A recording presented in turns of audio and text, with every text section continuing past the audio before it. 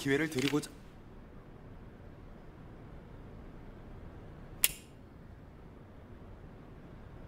우리 집 불교 믿으니까 귀찮게 하지 말고 저리 가라고.